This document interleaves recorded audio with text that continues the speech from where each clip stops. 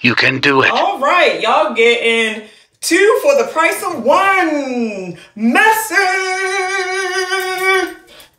Okay, and this is piggybacking off of what I just said in the last video about the bubble.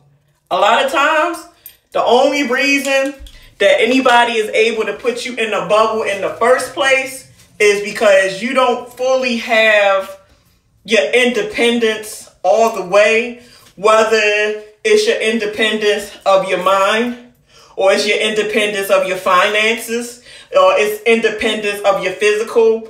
Independence is it can be in a variety of of areas. It's not just independence with things. It can be just independence mentally.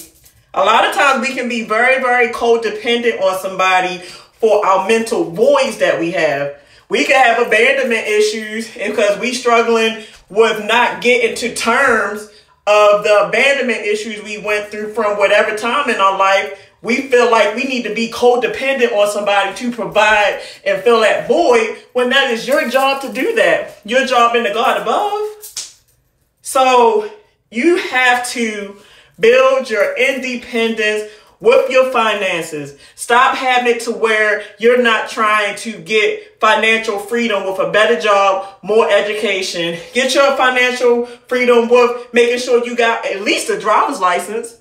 Make sure you got a driver's license. Make sure you got a car. Make sure you got your own place to where you ain't got to keep, hey, can I stay with you? You know, why you can't help me? You, you putting yourself into somebody's hands where they can fuck all over you. And you wonder why people can put you in the bubble because you're placing, here I go, here.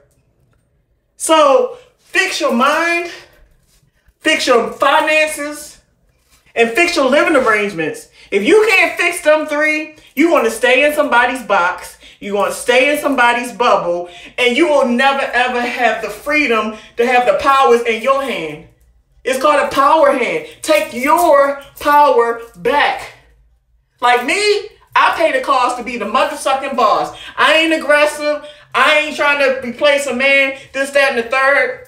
But I've been placing so many people bubbles. That's why I can tell y'all this shit. I will never in my life have a man control me or have anybody feel like they can dominate me because I don't have my power or I don't have my independence. That's why I strive so hard for my independence because I've been there. Almost lost my life because I put myself into a guy hand that I thought I could trust. And long and behold, he used his power over me. So get your independence, baby, and take your power back. You can do it.